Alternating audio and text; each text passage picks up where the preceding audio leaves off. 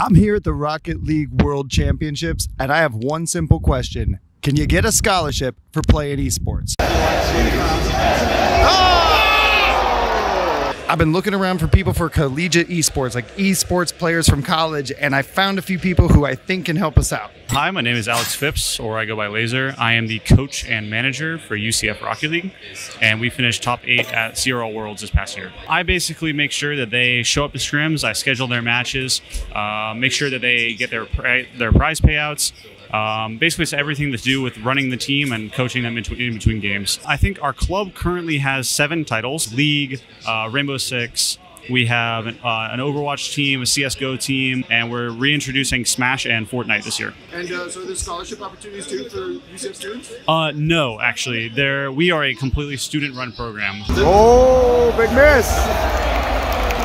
All right, so UCF didn't work out. All right, they don't have any scholarships, but I think I got another lead. I'm gonna talk to some guys from this place called Carroll University near Milwaukee, Wisconsin. I guess they said around there.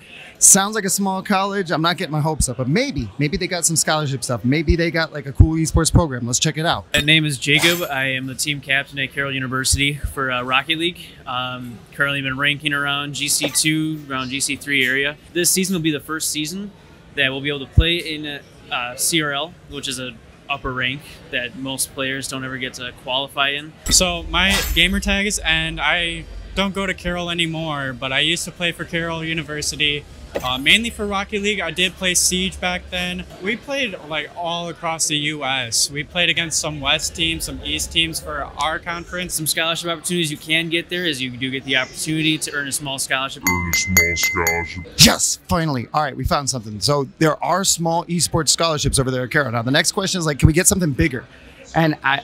I met Seth. He's the uh, manager of the University of North Texas team. I've been trying to get in touch with UNT for a long time for a bunch of other stuff. So finally found somebody from there. And they're a huge program. I think I think we might have hit the gold mine here. So let's talk to Seth and figure out what's up. Hi, my name's Seth Dunham, also known as Oatkicker online. I am the UNT Rocket League manager. For UNT Rocket League, I help find them scrims, help schedule their games and stuff like that. I really keep them on track of their game and stuff like that. That way, they just have to focus on school and their game, and that's all. The team's doing really well. We made it top three in summer series right now, headed into playoffs right after this week. So the rest of the esports scene is pretty interesting. We have two other teams in Overwatch in League. We do offer scholarship opportunities for all three teams. So if people are interested in joining, go through the tryout process and stuff like that. And if they make it on the team, then they're eligible for that. As a student athlete, all you have to do for the scholarship pricing is to be part of the starting roster. All right, people. So there you have it. It is possible to get sports scholarships as an esports player in college.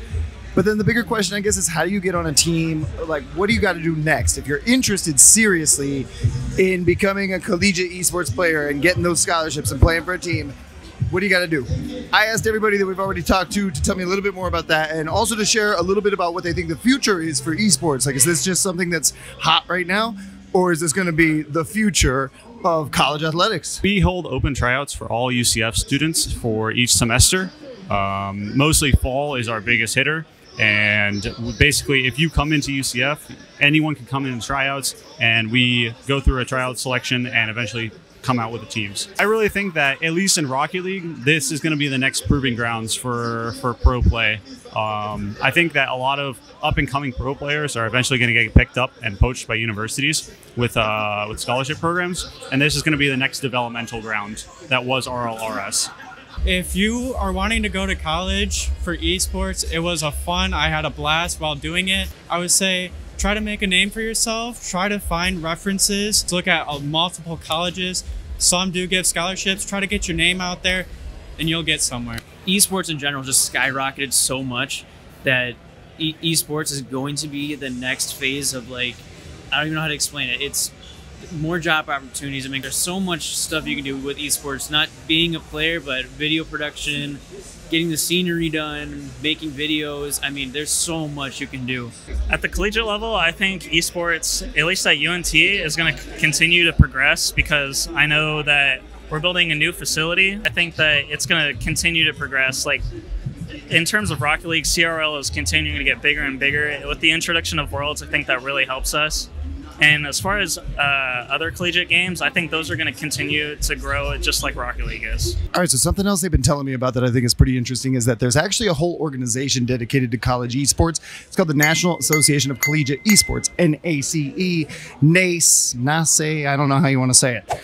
They're like the NCAA for college esports. Uh, NCAA doesn't actually regulate esports. They kind of missed a huge opportunity, and so now you can check out NACE and you can enroll there and like maybe find other scholarship opportunities for Rocket League too. They've uh, got connections to some of the biggest players like Northwood and Oakland and you know UCF and other places like that too. So you might be able to get a scholarship through them too. Check out NACE if you really are interested in college esports. This has been an absolutely awesome experience. Uh, I would totally recommend esports events in person to anybody on the planet.